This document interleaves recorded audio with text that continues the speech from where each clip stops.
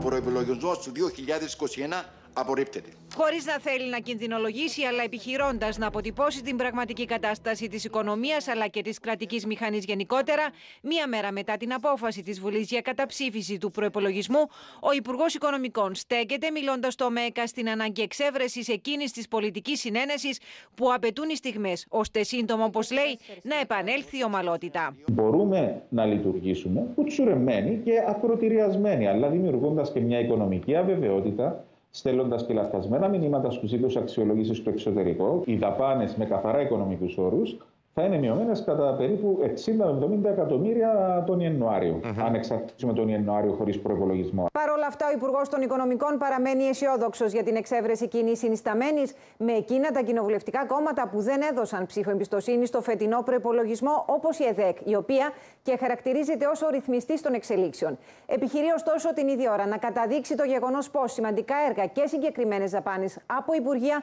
μένουν αναγκαστικά στο περιθώριο, δίνοντας μάλιστα και παραδείγματα παραδείγματα. Όπω η μονάδα αιμοκάθαρτης στην Πάφο, η οποία θα πρέπει να υπογραφεί τον Ιανουάριο. Δεν μπορεί να υπογραφεί τον Ιανουάριο. Όπως ε, η επέκταση του, του, του τομέα της, της θέρυγας για ψυχική υγεία στην Αθαλάσσα, mm-hmm. που έτοιμη να προκηρυχθεί τον Ιανουάριο. Δεν μπορεί να γίνει αυτό το πράγμα. Ναι. Όπως ο, ο, ο, ο δρόμος πόλης Πάφου. Δεν μπορεί να γίνει αυτό το πράγμα. Την ίδια ώρα οι τεχνοκράτες στο Υπουργείο Οικονομικών επιδίδονται σε έναν αγώνα δρόμου για τον καταρτισμό του νέου τροποποιημένου προπολογισμού.